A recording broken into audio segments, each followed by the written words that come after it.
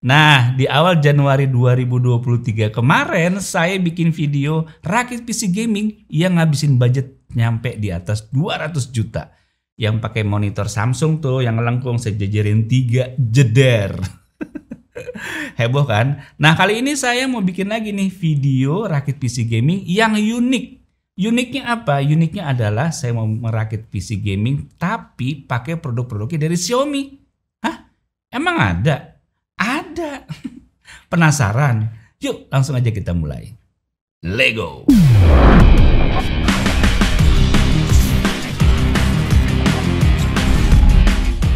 Nah, jadi belum lama ini Xiaomi itu bikin produk yang namanya mini PC.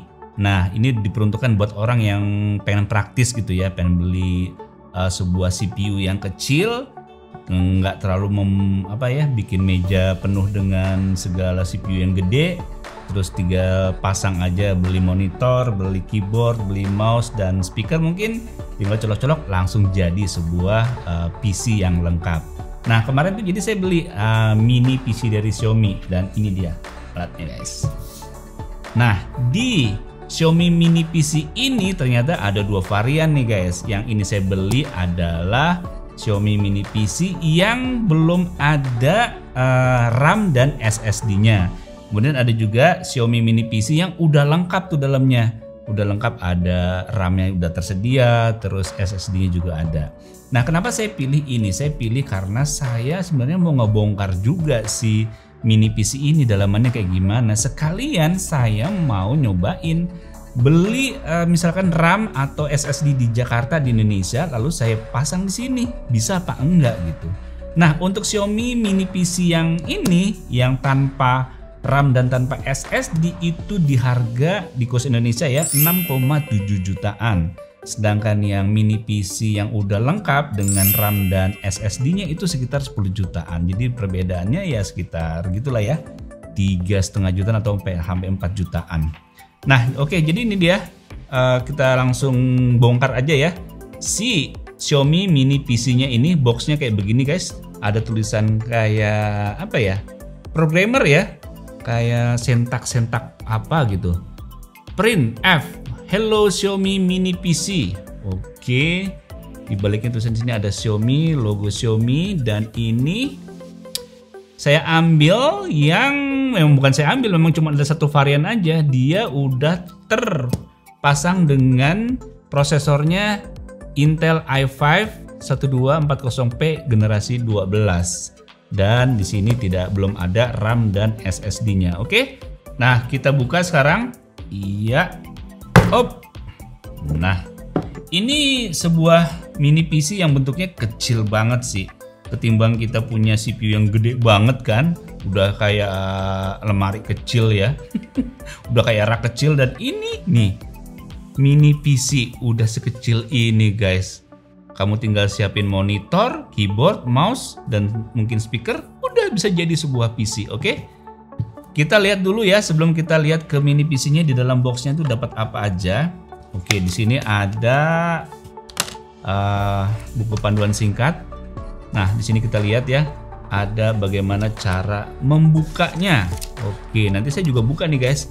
Nah, di sini dapat kepala charger dan kabelnya untuk kabel power dari si Xiaomi Mini PC ini ya guys ya. Oke, di sini dapat mur dan karet ya buat uh, backup kalau kali aja murnya hilang atau karetnya hilang itu semua disediain di sini nih guys karet yang ada di bawah mini PC-nya Xiaomi. Nanti saya kasih lihat ya guys ya. Dan di sini juga dapat uh, tempelan ini kayak si semacam thermal ya. Tempelan biar si dalemannya dari PC atau CPU ini nggak terlalu panas. Biasalah kita tempel di motherboardnya gitu ya. Oke, cukup lengkap juga ya. Dah di boxnya nggak ada apa-apa. Langsung aja sekarang kita lihat ke si mini PC dari Xiaomi ini di video ini ya produk inilah bintang utamanya ya. Iya, oke. Okay. Sebenarnya saya bukan pertama kali melihat uh, mini CPU atau mini PC seperti ini sih. Ada merek yang lain yang udah pernah kita beli juga, kita pernah coba. Cuman kali ini memang unik sih karena apa? Karena logonya brandnya ini dari Xiaomi. Xiaomi kok bikin mini PC kan aneh ya. Tapi ya nggak aneh juga namanya juga Xiaomi apa aja dibikin. Nah ini adalah tampilan dari mini PC-nya guys ya. Di sini kita bisa lihat nih berbagai macam ada port ya. Ini lubang buat uh, kabel powernya dan di sini ada lubang buat SDMI, Type C, USB A dan ini buat kabelannya. Kemudian di bagian depan ini di sini ada tombol power on off, ada jack audio dan ada dua buah USB A dan ada lampu indikatornya. Udah sesimpel itu sih. Nah, sekarang saya mau buka nih guys uh, si mini PC ini saya mau lihat uh, komponen dalamnya seperti apa. Sekalian saya mau pasang uh, RAM dan SSD-nya juga. Oke, di sini saya udah siapin obeng dan peralatan. Saya kayaknya perlu pakai ini deh. Sarung tangan deh. Oke, udah saya pakai ya sarung tangannya. Langsung kita buka aja nih. Ya, kita coba pakai obeng ya. Kita congkal dulu nih karet-karet yang ada di bawah ini. Di dalam karet inilah terdapat uh, mur yang kita bisa buka. Nah, keempat bautnya udah kita buka. Kita lihat di sini guys, ada tulisannya uh, open nih. Di sini open. Jadi kita harus congkel di bagian sini. Kenapa? Karena di bagian sini di dalamnya katanya ada kabelnya supaya nggak Nah, ntar ya.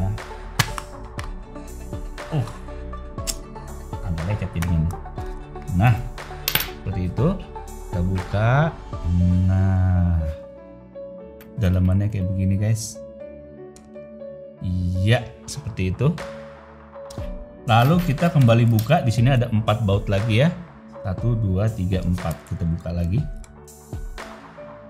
Nah keempat bautnya lagi udah terbuka. Sekarang kita lihat ke dalamnya. Dah ini bisa dicopot ya. Nah ini adalah tampilan komponen di dalam Xiaomi Mini PC dan kita lihat di sini slot buat uh, RAM-nya itu masih kosong nih guys. Dan di sini buat uh, eh, SSD NVMe-nya juga masih kosong guys di sini. Jadi ini benar-benar mini PC-nya tuh masih kosongan ya. Oke, jadi kemudian saya beli nih guys RAM dari Lexar nih DDR4 3200 SO-DIMM 16 GB sebanyak dua buah nih guys. Yang mana satunya ini harganya itu uh, 726.000 dikali dua jadi 1.452.000 nih guys.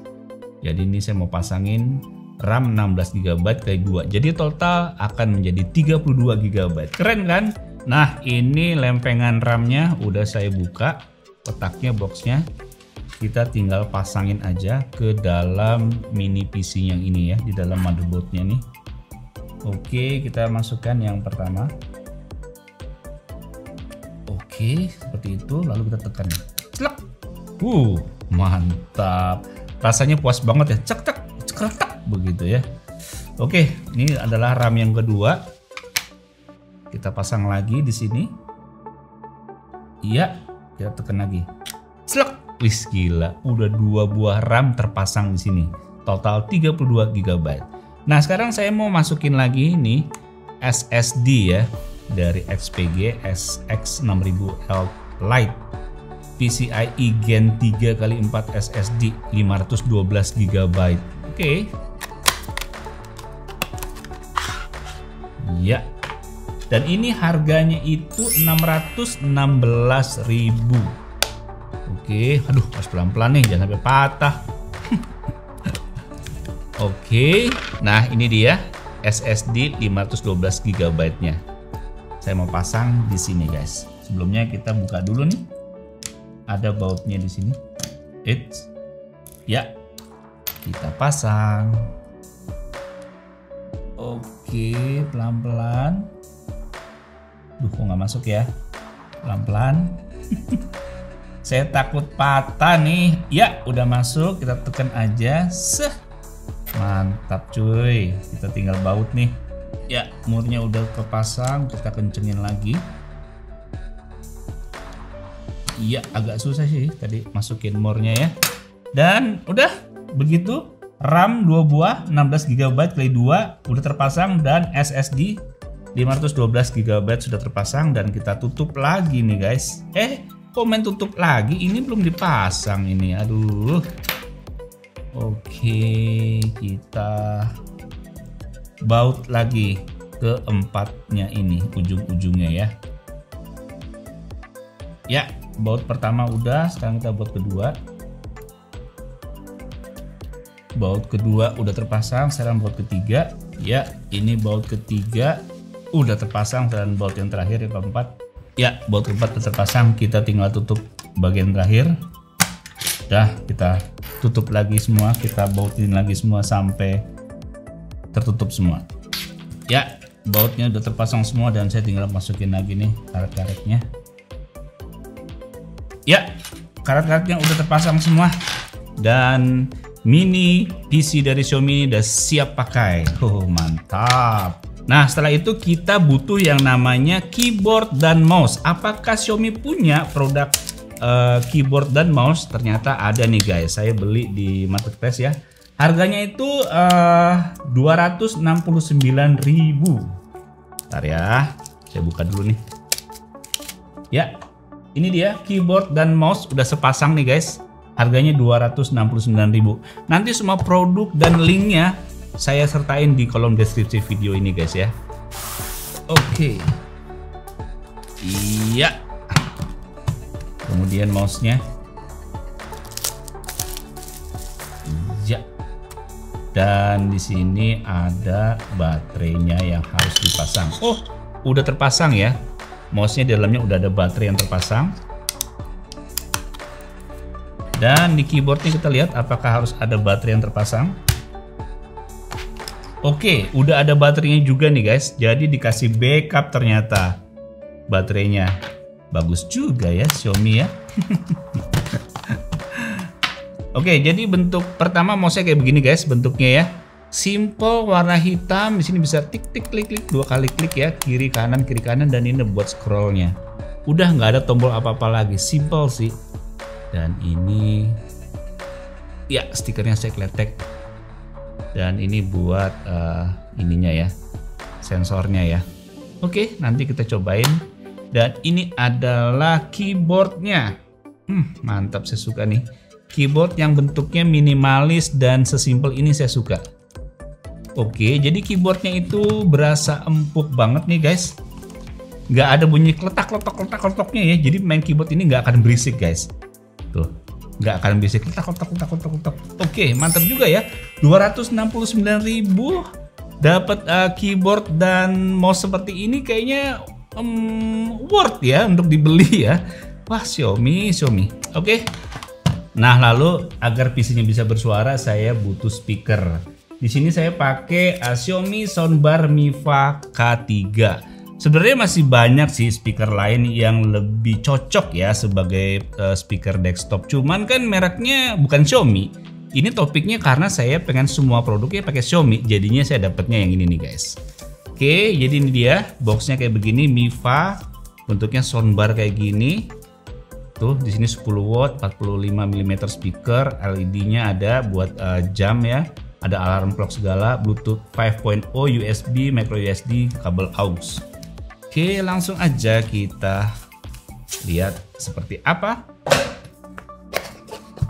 Iya, di sini dapat uh, kartu atau buku panduan singkat ya. Seperti itu cara penggunaan dari si soundbar Xiaomi Mifa 3 K3 ini. Oke, kita lihat di sini. Oke, dapat kabel aux dan kabel buat uh, nyolokin dari CPU ke speaker. Tapi kita nggak uh, pakai kabel ya, kita pakai manfaatin sambungan dari Bluetoothnya. Hey, ini speakernya nggak terlalu berat sih. Saya kira tadi speakernya berat ya. Ternyata nggak terlalu berat nih guys. Bentuknya kayak begini guys. Di sini ada layar buat nampilin LED-nya tuh ya, nampilin jam dan di sini ada speakernya nih guys dan nanti kita lihat kualitasnya seperti apa dan di bagian atas ini ada beberapa tombol buat mengoperasikan si soundbarnya ini. Ada buat alarm, volume uh, pelan, volume keras, kemudian majuin lagu, terus apa nih uh, manual, terus ada tombol power on off-nya. Oke, sesimpel itu aja. Dan di belakang ini terdapat port USB-A buat masukin micro SD, jack audio atau buat kabel aux dan di sini ada buat uh, DC 5 volt. Jadi ini buat uh, ngecas si speaker ini. Oke. Jadi speaker ini perlu dicas nih guys ya. Mantap. Dan harga dari soundbar Xiaomi Mi K3 ini adalah 250.000. Hmm, terjangkau ya. Nah, mini PC-nya udah ada. Terus keyboardnya juga udah ada. Mouse-nya juga udah ada. Speakernya juga udah ada. Tinggal monitornya nih. Jadi saya pakai monitor dari Xiaomi Monitor Gaming Curve 34 inch 144 Hz yang ada di belakang sini guys. Ini harganya 5.585.000. Yuk langsung aja kita rakit sekarang ya. Kita pasangin semuanya kayak apa jadinya. Jeder. Nah guys, ini semua perangkat udah terkoneksi ya ke mini PC-nya dari kabel monitor, kabel SDMI ke mini PC, kabel power juga udah kecolok, terus port uh, Bluetoothnya untuk ke keyboard dan mouse juga udah terkoneksi. Sekarang saya mau coba nyalain ya. Kita mulai dari menekan tombol power on off-nya dari Xiaomi mini PC-nya. Ini dia. Ya, lampu power on off-nya udah nyala. Sekarang kita lihat sambari ini juga speakernya kita nyalain. Hmm, kita lihat nih seberapa cepet ya loading time-nya. Oke, ini menarik juga ya. Penampilannya bagus juga nih produk-produk Xiaomi. Nah, di sini kita lihat udah langsung kita lihat. Nah, udah masuk. Cepet juga ya guys ya. Oke, sekarang jadi ini dia tampilan dari interface dari Windows-nya yang menggunakan Xiaomi Mini PC. Nah, kita lihat di sini layarnya uh, cukup lebar ya dari si uh, monitor Xiaomi ini dan ini juga terkoneksi. Sekarang saya mau tes buat ngetik-ngetiknya dulu ya. Kita cobain sambil buka browser ya. Terus kita coba ngetik aja di sini misalkan buka YouTube ya www.youtube.com jadi si tombol keyboardnya ini cukup empuk ya kayak membel-membel gitu. Cuman nggak ada nggak ada ceklek-cekleknya nggak ada, bunyi cetak-cetoknya nggak ada, empuk beb beb beb beb gitu. Oke langsung aja kita enter. Nah di sini kita buka YouTube. Kita coba buka audio library. Ya enter.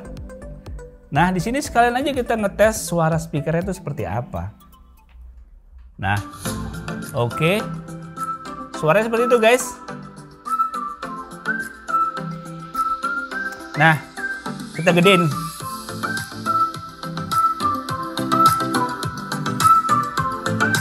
Wis, mantap guys. Nih, speaker bisa. Oh, udah habis. Oke. Okay. kita cari yang lain aja, yang ini. Nah, kita coba musiknya yang lain ya.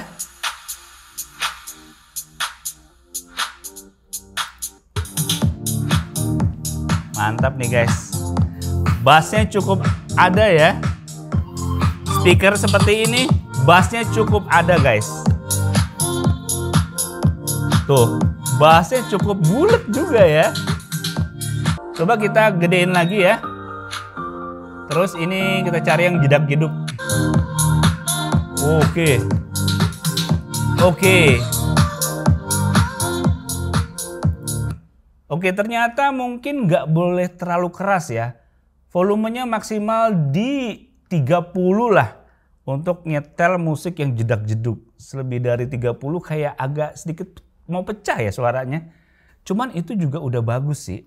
Dengan kualitas volume maksimal 30 dengan kualitas jedak-jeduk seperti itu, bassnya cukup bulat, enak banget sih.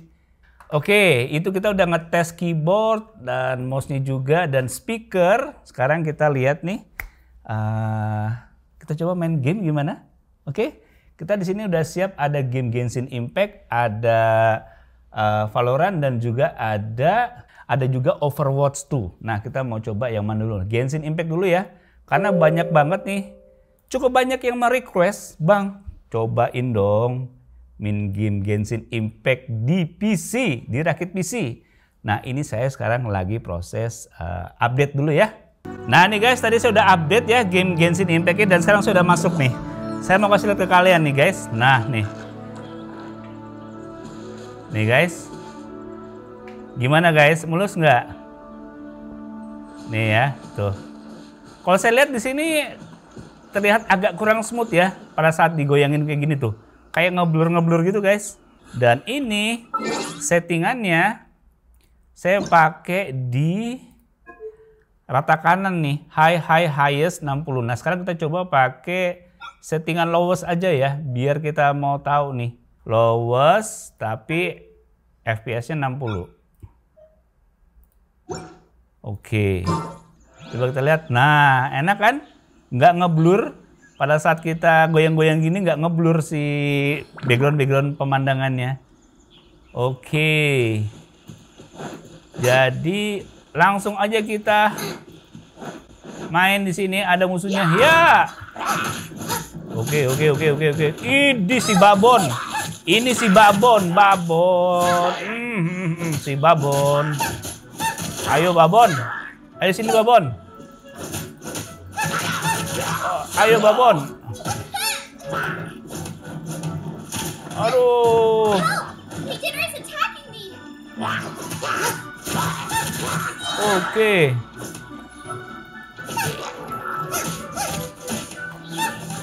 Nah sekarang kita coba bandingin ya, kita naikin lagi. Kita naikin lagi ke grafiknya high highest. Jebret. Iya, langsung lah. Langsung banget kelihatan nyendet-nyendetnya kelihatan banget. Eh, yo. Hei, nyendet-nyendetnya kelihatan banget. Ah. Aduh, nyendet-nyendetnya. Kelihatan tuh guys ya waktu saat kita belok-belokin tuh ngeblur ya guys ya. Ngeblur tuh guys, ngeblur. Cuma kalau kita settingin balik lagi ke grafik kita custom ke lowest Ya, oke, oke, oke, oke. Nah, lihat nih guys, kalau saya goyang-goyang, dia nggak ngeblur ya. Background-background ini tuh nggak ngeblur tuh guys. Nggak ngeblur. Hey, hey, hey, hey. Hey, iya, oke, oke. Wah, hmm. Gila. Berarti main game Genshin Impact pakai uh, Xiaomi Mini PC ini sangat nyaman di settingan lowest ya guys ya. Ini kenapa? Ini karena setelah saya lihat-lihat di Xiaomi Mini PC ini nggak ada GPU-nya. Jadi dia mengandalkan dari uh, Intel Iris uh, Xe grafiknya, bawaan dari chipset prosesornya. Jadi ya karena nggak ada GPU-nya, jadi grafiknya nggak bisa maksimal banget guys. Nah sekarang saya main game Overwatch 2 nih guys.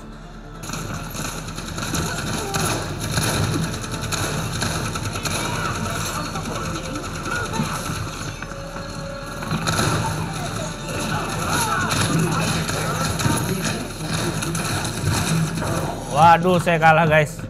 Nah, jadi guys, main game Overwatch 2 pakai Xiaomi Mini PC ini saya mainnya itu di settingan grafiknya itu settingan grafik quality-nya low. Saya pakai settingan low.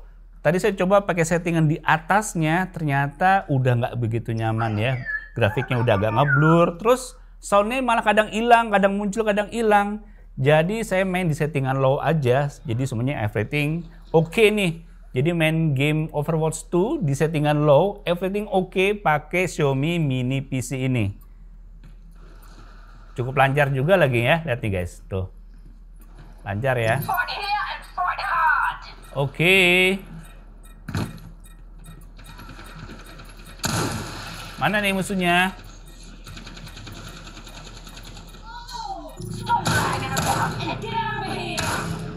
Nah tadi main game udah, sekarang saya mau buka YouTube lagi, pengen lihat nonton film tuh seperti apa di layarnya Xiaomi ini. Jadi kita bisa menikmati film-film yang uh, resolusinya 21 banding 9.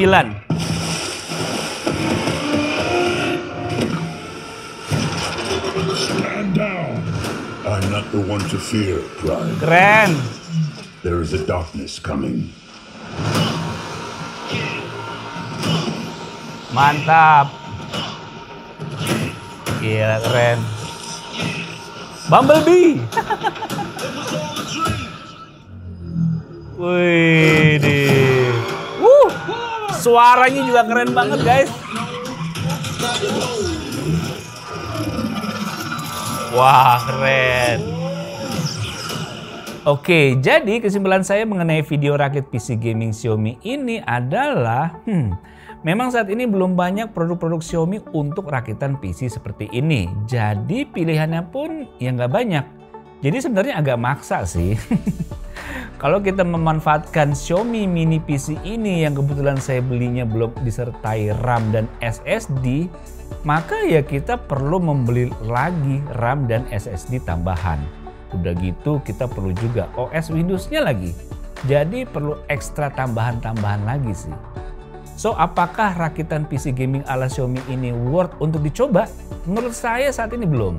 Karena udah saya coba buat main game Genshin Impact dan Overwatch 2 Hmm, memang bisa dimainin dengan lancar, tapi dengan settingan low atau lowest. Kalau kita naikkan settingan grafiknya udah nggak nyaman tuh.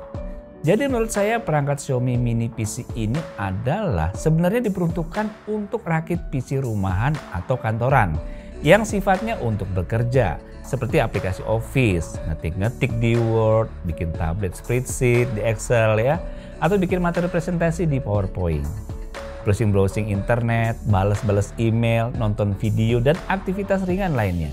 Dibuat main game bisa, tapi settingan low itu pun sebatas game-game Genshin Impact dan Overwatch 2. Seperti itu. Kalau buat main game berat sekelas Call of Duty atau Cyberpunk, ya nggak bisa.